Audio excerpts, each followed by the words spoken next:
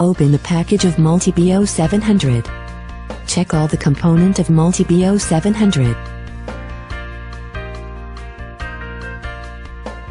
Plaster the mounting template on the wall. Drill holes according to the marks on the template. Release the mounting plate in place on the template. Mount Multibio 700 on the plate and let out the wires from the hole.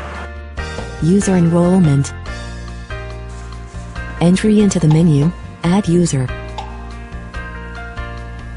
Input user ID via screen keypad. Input username via screen keypad, and save the operation. Face enrollment. Focus your eyes to the screen box. Take a small step backwards, and focus your eyes to the screen box again. Take a small step backwards again, and focus your eyes to the screen box, until the device finish capturing.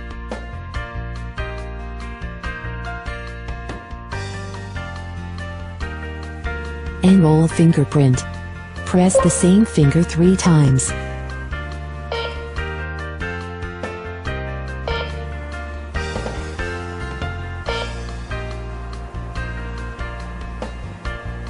Save and quit the enrollment.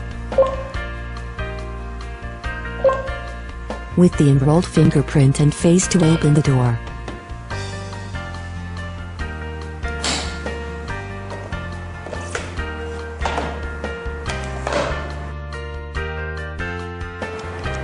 With Multibio 700, you can enroll card for user. With enrolled card, you can open the door.